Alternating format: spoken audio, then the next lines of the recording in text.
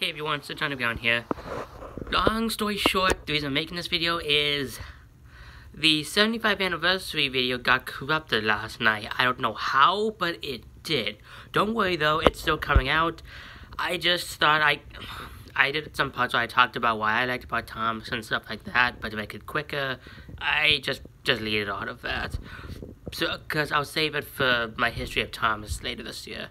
But um yeah, the video, instead of coming out at 4 today, it's going to come out at 7 o'clock or 8 o'clock in the evening. So just want to let y'all know that. Uh, I don't know how it got corrupted, but it did. But, yeah. And the video itself should be like at least an hour long. But just let y'all know, it'll be 7 or 8 o'clock.